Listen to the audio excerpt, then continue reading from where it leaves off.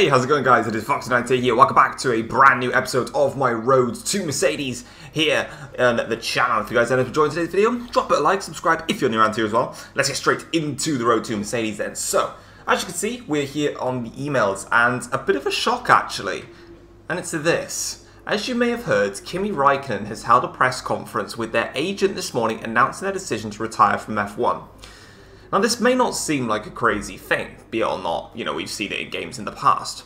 What makes this quite insane is that Sebastian Vettel has also, in the previous episode, or maybe two episodes ago, announced his retirement. So this is the first time I've ever seen a second driver in the same season announcing their retirement. But it is happening. Heading into this weekend, we've got a lot of upgrades on the card. Two for the engine, one for the chassis. Uh, so we're looking in good business, obviously. Um, I won't have the objectives on screen for today, um, but we are currently just need to get one more Q3 appearance and get out of Q1 two more times for the rest of this season in which we have got uh, this amount of races to do it in. So we've got the Russian Grand Prix, Singapore, Japan, USA, Mexico, Brazil, Australia, and Abu Dhabi in order to get a drive at Aston Martin for next season. If we cannot get out of Q1 two more times and get into Q3, we won't get a drive and we have to stick in this Williams car. And I don't want to do that. So, we move. That's why we're constantly piling on some upgrades. But we're now going to go and see. As you can see, we've got plenty of stuff in the pipeline. Looking at the progress history then, Mercedes take a big leap forward uh, with upgrades. McLaren are now in front of Red Bull. Aston Martin and Ferrari are on top of each other. Alpine just ahead of Alfa Romeo and Alpha Tauri. Us then, meanwhile, still gradually closing, but our upgrades are just taking too long to get onto the car. But I can't change that, so it is what it is. So, uh, yeah, that's where we're at. That's where we stand. We're now going to get straight into practice, uh, and then I will see you guys for qualifying uh, for the Russian Grand Prix. Can I? Oh, I can't change my engine components there. That's great. We'll have to change these to do these. They really need to fix this actually in practice. Um, when you do the quick, the quick sim or whatever it is for practice, it just destroys your components. Like you literally gain like 25% worth of wear for no apparent reason whatsoever, and it's just a pain in the backside to do. Um, so yeah, hopefully um, for the next game they can seriously go ahead and adjust that because it's just plain ridiculous. Um, we'll try that. I doubt we'll even get on the car, but yeah, it is what it is, you know what I'm saying? Oh, there we go, 25% success. You know I'm still able to do it.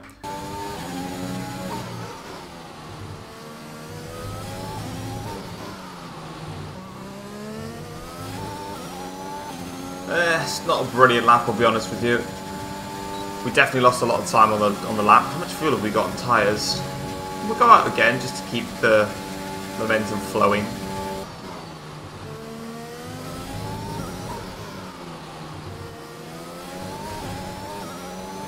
That's a really tidy lap. That's a really tidy lap. I'll tell you what, right? A lot of everyone pretty much hates the Russian Grand Prix, whether you're driving the track and car in game or whether you're uh, watching it as an actual race. what I will say, right, I actually thoroughly enjoy uh, this circuit. I'll be perfectly honest with you. I really like it. Um, uh? We were P8. I'm sorry, what? How was I 8th fastest to get... Right, okay. Well, I mean, I've got... excuse me, I got out of Q1, which means we only need to get out of Q1 one more time in this season. If we can get a Q3 appearance, then holy crap, we have set ourselves up beautifully for the rest of the season to get an Aston Martin drive. Not get ahead of ourselves, but oh, this is getting a little bit naughty.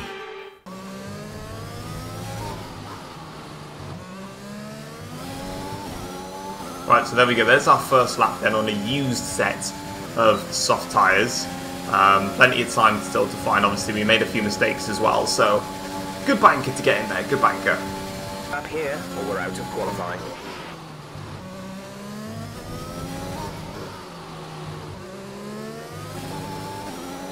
Please tell me that was enough to get through into Q3. Please. That was a fucking awesome lap as well.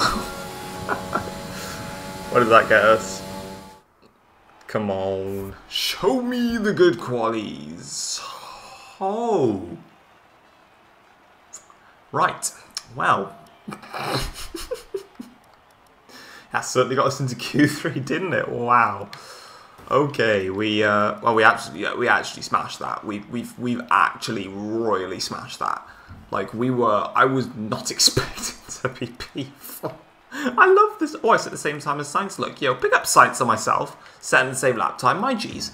Um, I was, I was not expecting that. I'm going to be perfectly honest with you. Russia is one of the most satisfying tracks to drive on this game. I'm just going to put it straight out there. I don't even care what people think of me. Um, P3, four, sorry. I highly doubt I'm going to beat that in Q3, but we're going to give it our best shot to try and get our best quality of the season.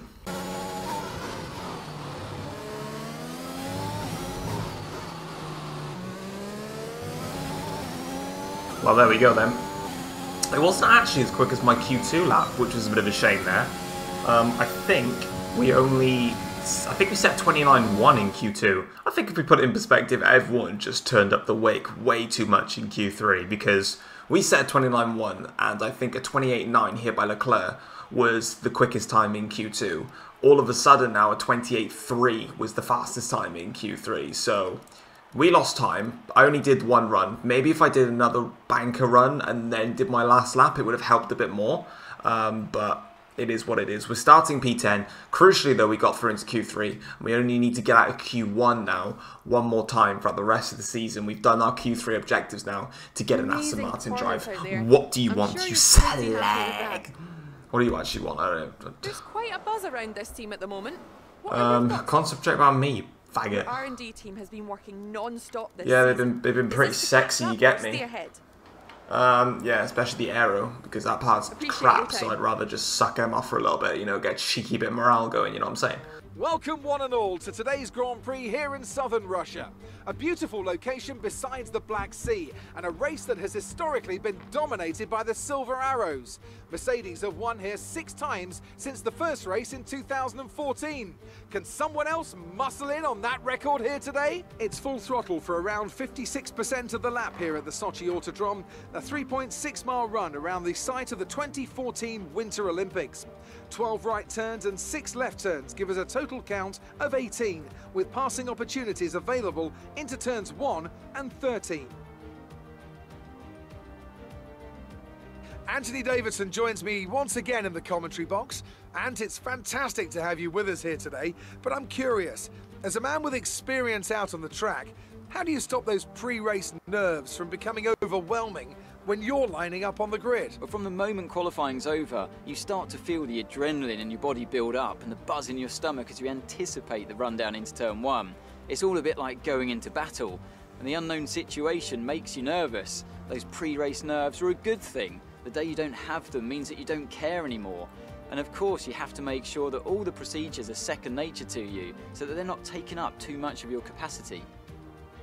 Off the back of a fantastic qualifying session, it's time to see how our starting grid looks for today's race. An immense lap from Lewis Hamilton yesterday puts him on pole position, and it's Valtteri Bottas that completes the front row. Looking down the rest of the grid, we have Norris, Ricciardo, Charles Leclerc, and Sainz, Perez, Verstappen, Vettel, and Thomas, Gasly, Tsunoda, Fernando Alonso and Ocon, Giovinazzi, Mick Schumacher, George Russell and Nikita Mazepin, Stroll and Kimi Raikkonen finishes off the grid.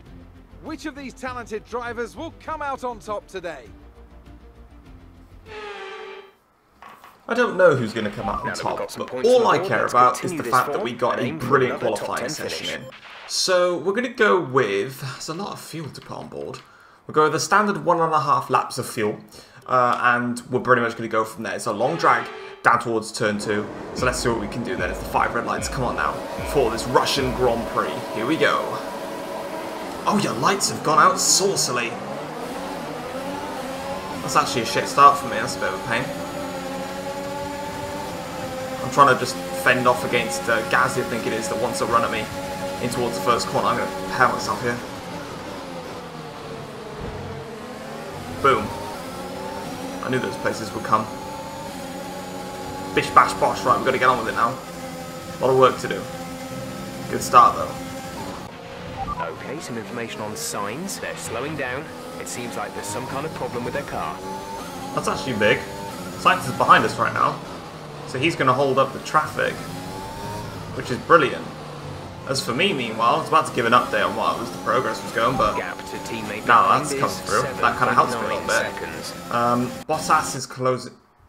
I'm not going to give you an update because my controller batteries have just died. Can we get a rip for the controller batteries, by the way? Poor things. Nah, I've just lost DRS of Leclerc now. This is going to make this race very difficult. Perez now fancies a run here towards turn one. I'm going to cut that off. I mean, we're boxing this lap anyway, so that's good, but I need these guys to battle to get back into DRS again.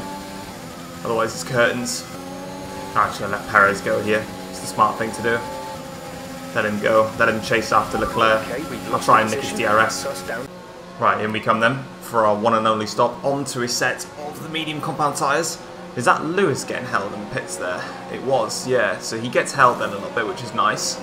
Hopefully, some of the other drivers get held a little bit as well, just to try and give us a benefit here. By the looks of it, they're not going to be, which is a bit of a shame there. Hopefully, we get a good stop from the boys.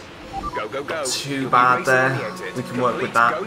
Bit of clean air as well, which is good. I mean, Leclerc's straight in front of us, but like that's, you know what I mean. To speed now. Okay, Let's get some we'll work with this. We need to get back into DRS range though, if we can. Ah, it's going to be really tough though. Let's just see where we feed out when the drivers behind us pit. A yellow flag. Caution, caution. Who's that for?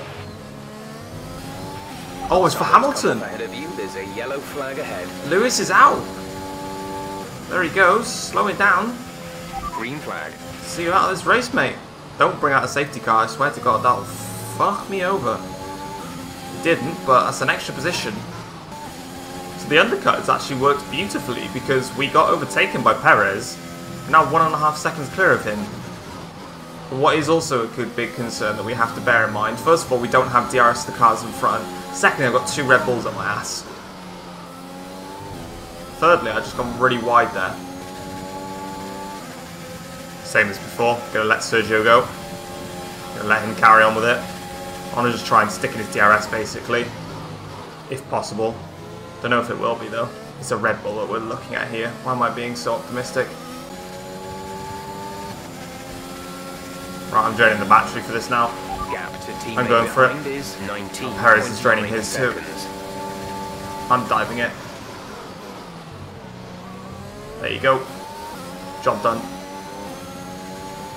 Oh, he's coming back at me. That's where he's draining his battery as well. You sod. Still going for it. Oh, he's brilliant fighting this. Someone's gonna have to yield. Lovely fight. I love that. Now we need to. Oh, Your DRS is offline. The rear wing is down, so you can stay Well, that's out not gonna help. work on a fix. Perez has really whacked up the mower now.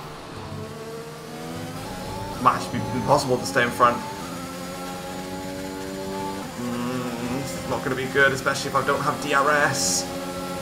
We're on attack back.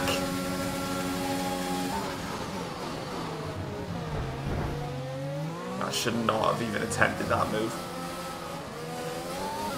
I've just lost time now. That was clumsy of me. I just, yeah, I got way too desperate then. Should have been smart about it. Now I've got to try and defend against Verstappen. I can't get Perez anymore because I'm not in DRS range. This is your I am, but I've lost final of DRS, so it means nothing. And the AIs are going to turn up the wick now as well. Fuck's sake. Right. Let's just protect ourselves from Max here. And towards turn one. There's only one lap of fuel remaining.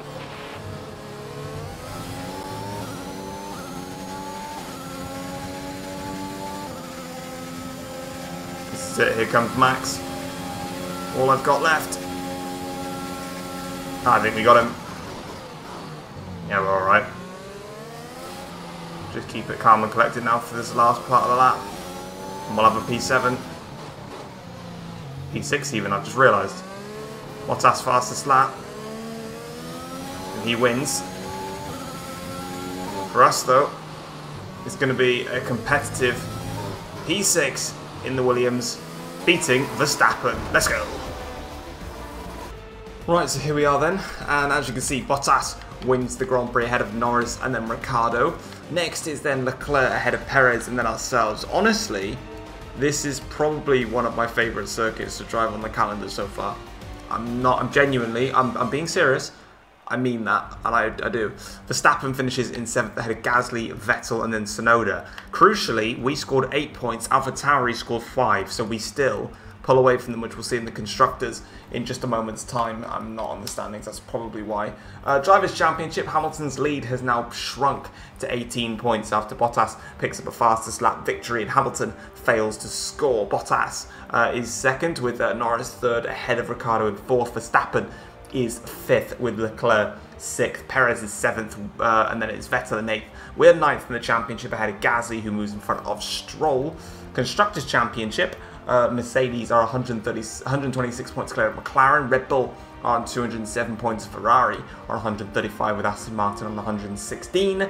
We are on 68 points and AlphaTauri are on 50 points. So we hold an 18 point lead against AlphaTauri in the Constructors' Championship. Alpine and Haas still only scored two on a point each, which is kind of weird. But there we go. That's it for the Russian Grand Prix. Let's get into the laptop and make upgrades. Oh, you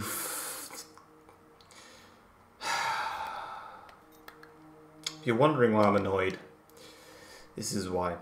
Our major upgrade for the aerodynamics has failed, and it means now I have to wait until after the Japanese Grand Prix for that upgrade to come onto the car. Honestly, it just takes the fucking piss. It really does. Um, I guess I'll just... Do I even bother trying to make upgrades, or do I just wait and see if anything fails? To be honest, it won't even make it onto the car anyway for the weekend, so I might as well just leave it at that. Right, where, where can we upgrade then? Another two weeks now. We've got to wait for that upgrade to come onto the car. I can't do anything on the aero. On the chassis, we could... Oh, we can't do anything until the monocoque. Cause, you know, I can't even do the hydraulics either. Engine. I do anything on the engine. That's ERS. So we might as well do some work on the ERS, try and help it recover a bit better. I can't do anything else with upgrades.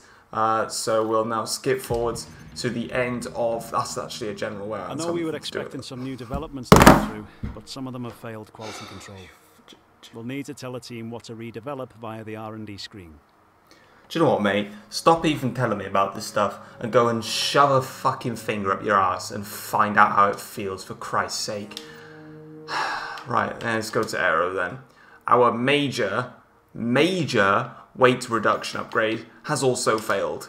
And I don't even have the resource points to fix the bloody thing. And it would have put us right on terms with Alpine. And I really wanted that upgrade to come in. Specifically because it would have been massive uh, for especially Japan uh, for moving forwards. But unfortunately, this fucking team is useless. Guys, that is going to wrap it up for what was a great episode turned sour. Um, if you have enjoyed it, drop it a like, subscribe if you're new around here as well.